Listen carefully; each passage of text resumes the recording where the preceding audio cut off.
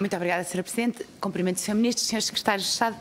Sr. Ministro, eh, como sabe, a Praia de Moledo do Minho é uma grande referência, quer em termos de beleza, pela sua qualidade em iodo, pela sua paisagem, até para o surf, para os desportos nossos, muito apreciada. Também, infelizmente, à semelhança de muitas das nossas praias da Orla Costeira, tem graves problemas de erosão que se vem, que se vem verificando ao longo dos anos e tem havido várias intervenções no sentido de mitigar o problema, nomeadamente quer do cordão do norte, que vai até à Foz, à Praia da Foz do Minho, quer no próprio areal, que por vezes vai diminuindo e chegamos a ter algumas alturas em que até o próprio areal quase desaparece.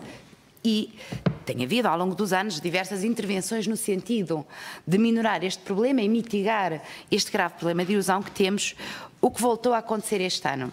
Sr. Ministro, aquilo que parecia uma intervenção absolutamente pacífica, como tem sido desde sempre, este ano não o foi. E não o foi porque, julgo que o Sr. Ministro até saberá, porque aproveitou-se a dragagem do Rio Minho para deposição uh, dos inertes resultantes dessa dragagem no areal tam e também no cordão do Nar.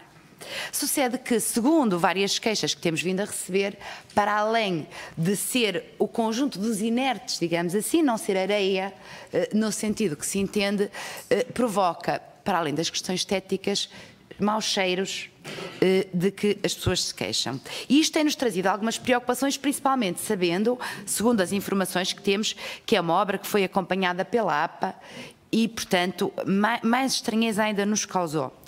E a grande preocupação que nós temos, Sr. Ministro, primeiro é se temos garantias que o material ali depositado está isento de quaisquer uh, formas de, de, contaminação e também de que o material depositado não implicará alterações Terminou na praia em termos de coloração dos areais, de granulamento e de conforto balnear. Muito obrigada, Sr. Ministro.